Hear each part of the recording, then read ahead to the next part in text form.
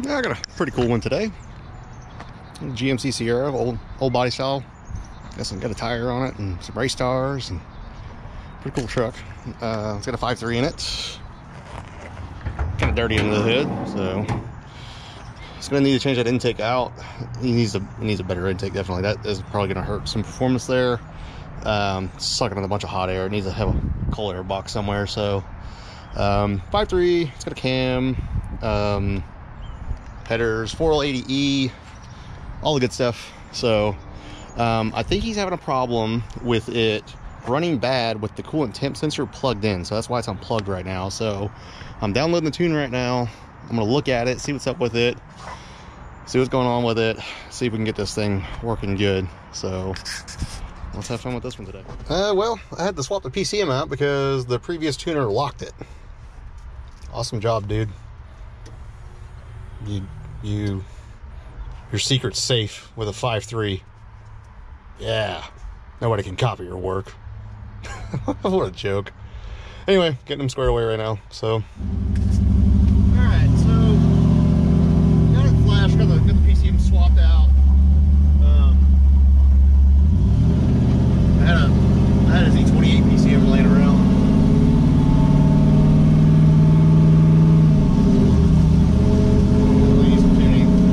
so a couple of problems with this thing. Um, it shows negative 38 degrees on the coolant temp sensor. He even told me that. Uh, he said it ran like crap. Um, with it plugged in, it ran like crap regardless. So it just thinks it's negative 38 outside right now. So I changed a bunch of parameters in the PCM just to get me where I'm going right now. But I'm going to change it back though. So I got it in speed density right now. And then uh, I'm gonna go pick up a multimeter real quick. I can't find mine. I have no clue where it's at. Go pick up a multimeter. I'm gonna diagnose some wiring. I think. I think it's got a wiring issue with the uh, that. But um, so I had a 01Z28 PCM. I had to uh, uh, I had to wipe the entire tune from like a 2001 Silverado with a 4 uh, 4L80E in it uh, to get it to do it instead of just segment swapping because I don't I really didn't want to deal with it. So, but it's running, it's shifting gears and stuff. So uh, let me go get this multimeter. Let's uh, let's diagnose this thing real quick. Um, like I said, I got it in speed density mode. I'm just driving it around. I ain't doing anything any harm, so it's totally fine right now. But we definitely need to get that coolant temp sensor um, uh, figured out for sure. Because we cannot tune this thing with it like that. So let me go get this multimeter real quick, and uh, I'll get right back with you guys. So driving, I look over at the coolant temp and it's working. So it's reading 192 right now. So uh, we're just gonna enable everything back and uh, go from there. so that's running super rich. So we'll, we'll get this thing squared away now. So thank God it's working. So we'll just keep an eye on it and see if it goes to crap again. It seems like it's idling really good and everything. So. Um, I'm gonna go ahead and uh, tune on it. Alright. Still in speed density. Right. I don't think it was trying to idle at 700 RPM for some reason, so change that. Got it at 800. Sounds pretty good right there. So can't remember what size cam's in this thing. We'll worry about that later. Let's try to get the idle good first with, what it's got, you know figured out it has 410s in it, so I had to change that all up.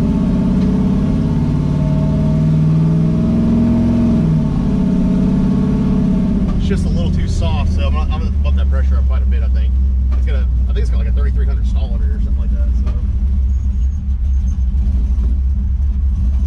almost trying to die. We'll get it squared away though, definitely.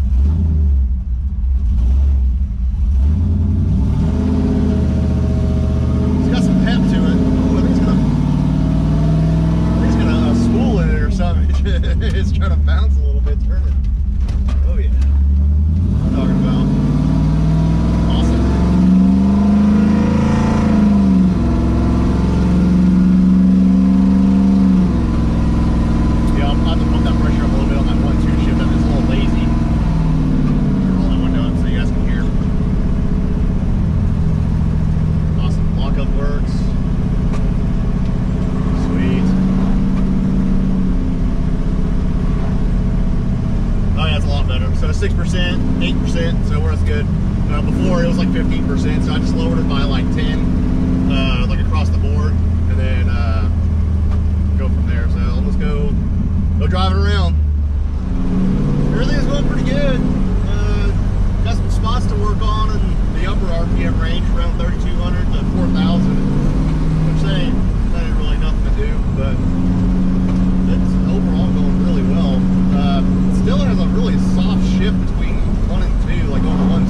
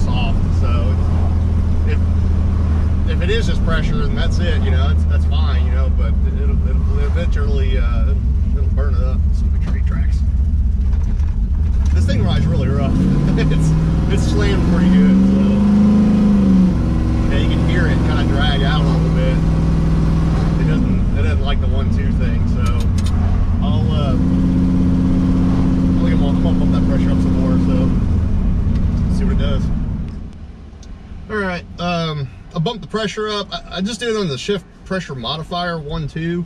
I just put it at 10 across the board, so it'll add 10 PSI to the current uh, table there. So we'll see if that actually helps or not. If it does, I'll do it in the in the table itself and just kind of kind of massage it a little bit. But uh, I don't I don't know. It didn't, it didn't seem right to me. So I got the, the shift timing's good and everything. So.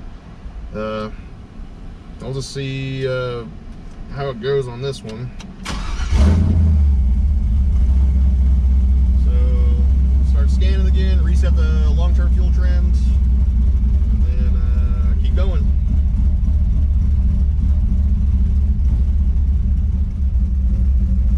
All right, well, I got it on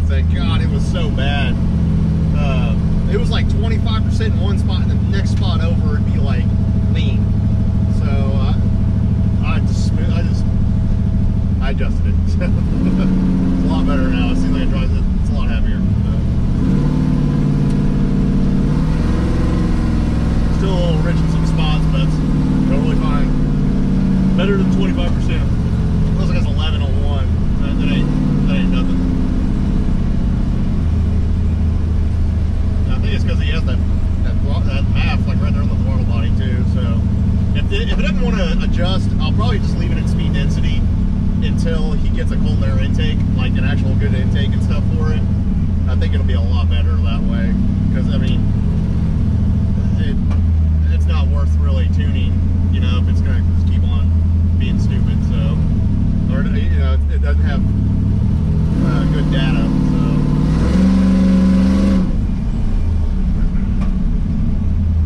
Good deal.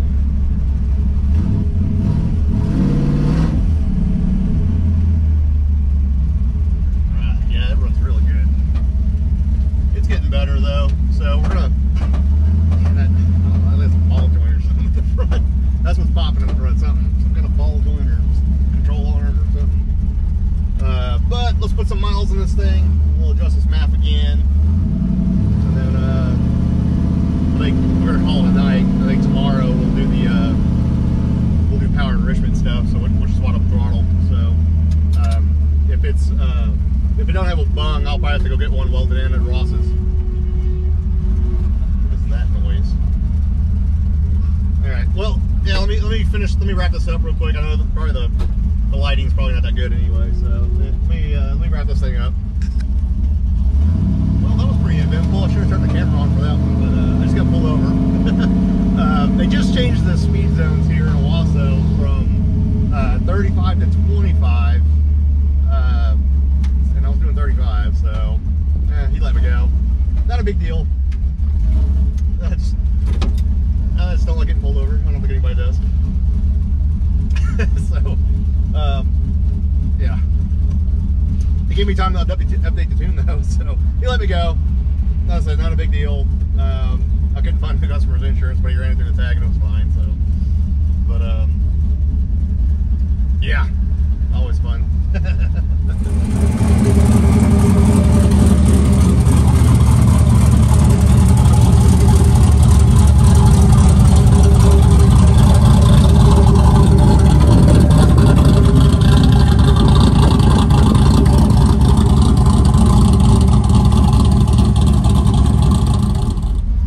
right, I decided to just finish it up tonight.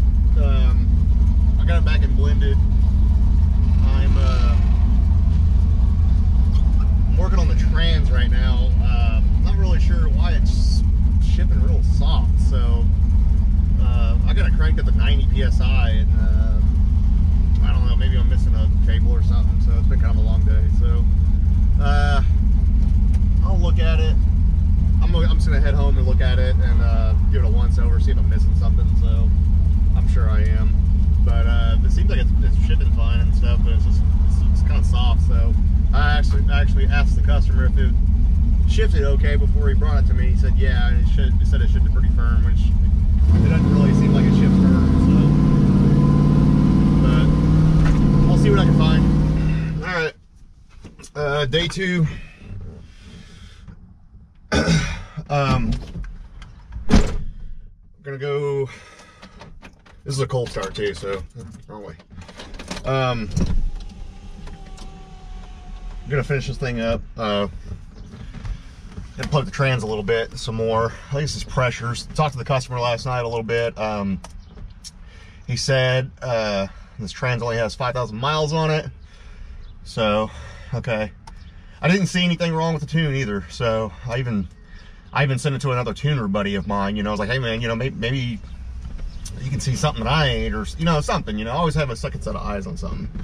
And uh, he didn't see anything either. So uh, I guess we'll just play with the pressure a little bit and then uh, see if we can get it uh, to that firmness again. I am gonna swap out that PCM and see exactly how much firmness the customer was talking about because my level of firmness compared to somebody else's is probably different. So. Um, Start right up, good deal. Um, so yeah, that's what I'm gonna do today.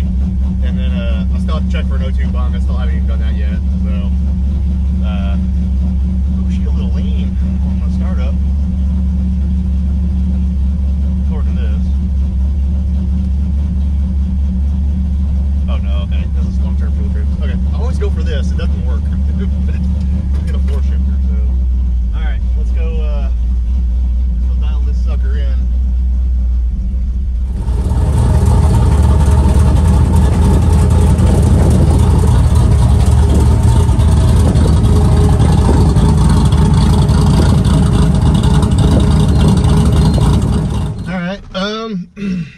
figured out it was a quart low.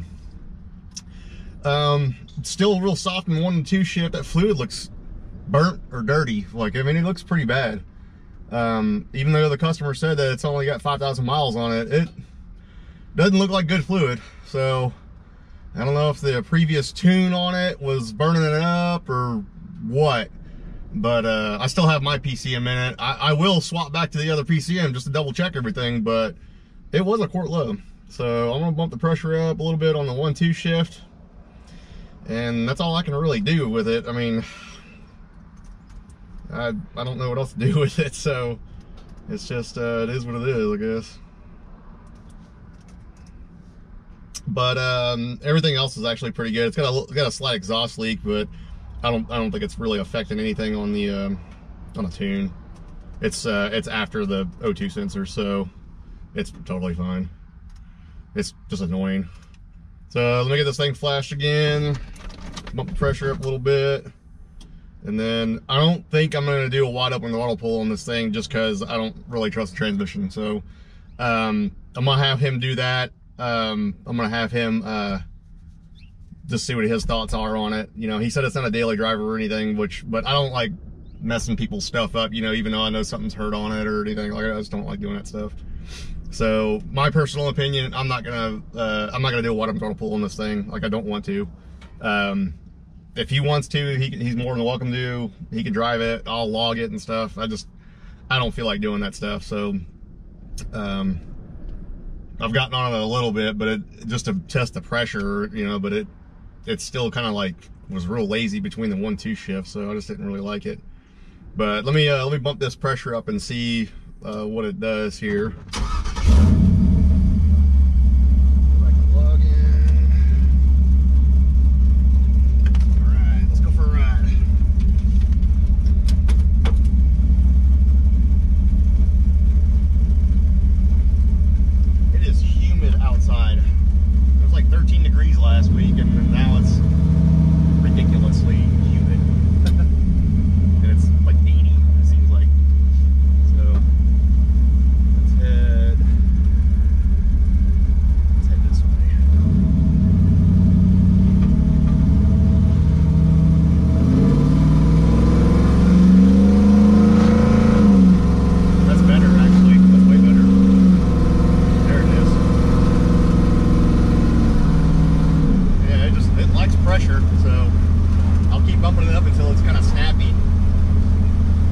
like it was definitely a quart low, definitely.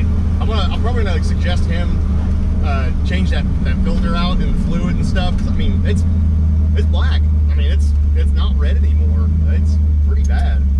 So I don't I don't know if he's just been driving around on it, you know, or I have no clue. I don't know why it's like that. So.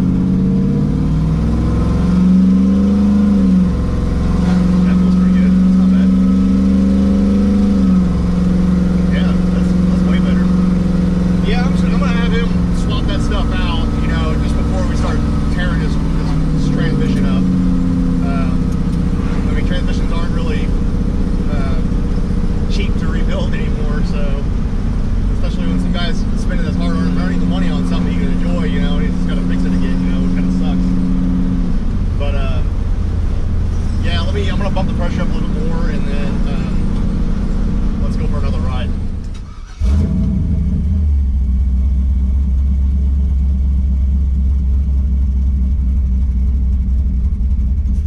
All right, bump the pressure up by 10 psi on the lower end right there, instead of giving it a nice little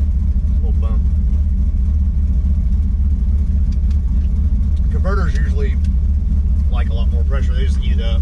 So, or an aftermarket converter, I mean. So this one's got a 30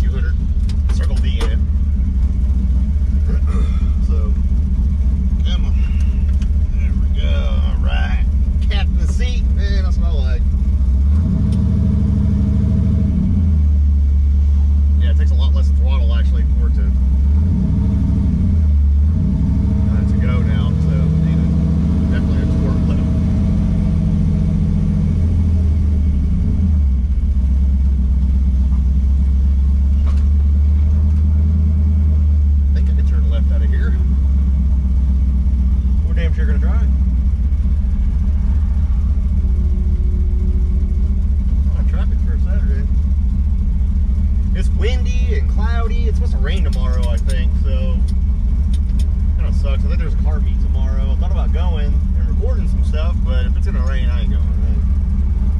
I ain't that about it.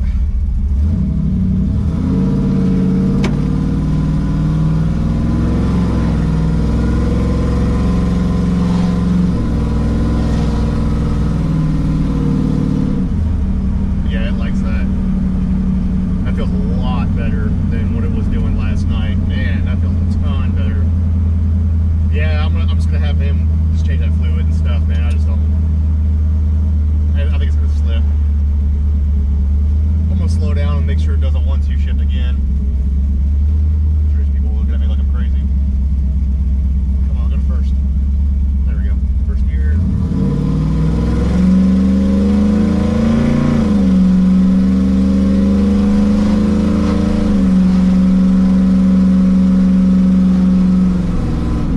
two three feels really good, but one two still you can tell it's got it, there's something going on with it. So like I said, I don't it's not the tune. It's definitely not a tune issue. So I can try to bump it up a little bit more, but I don't think it's gonna help any. But that's gonna conclude it for this one, I think. Um, you will you'll probably see this this car again or this truck again.